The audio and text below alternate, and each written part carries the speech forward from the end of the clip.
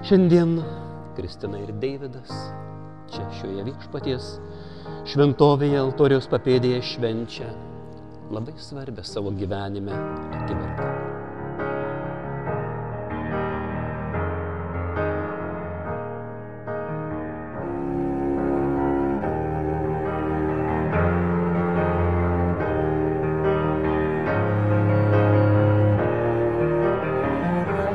Ir vargiai ir džiaugsme jūs būsite vienas kūnas, viena šeima.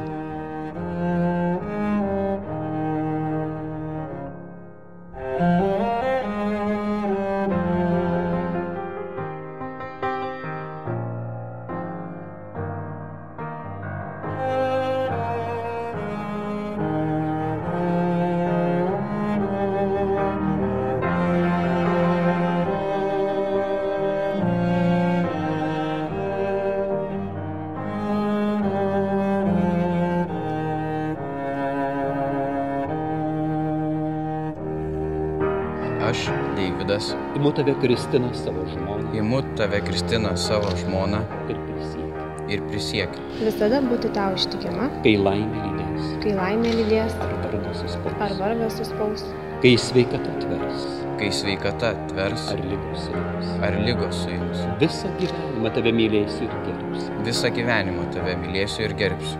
visą gyvenimą tave mylėsiu ir gerbsiu. Tada man. Te padeda man Dievas. Te padeda man Dievas.